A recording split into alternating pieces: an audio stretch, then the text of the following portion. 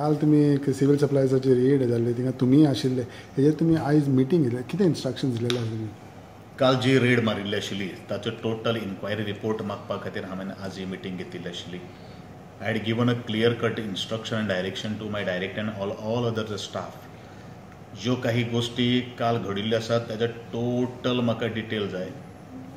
जे एज्युकेशन डिपार्टमेंटा कडेन आसात जे आय डी सीचो म्हाका रिपोर्ट जाय कितले गोडावन आसा आय आय डी सीन कसले गोडावन ऑपरेट करता हेजो सगळो रिपोर्ट मागला म्हाका एकूच गोंयकारांक एक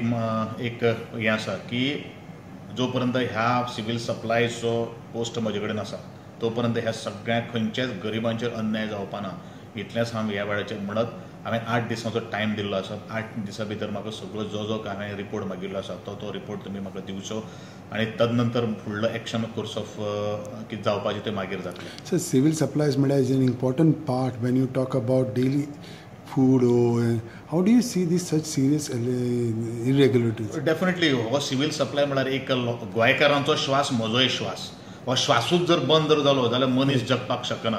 हेजे वयल्यान तुमकां सगळ्यांक क्लियर कळटा आसतलें की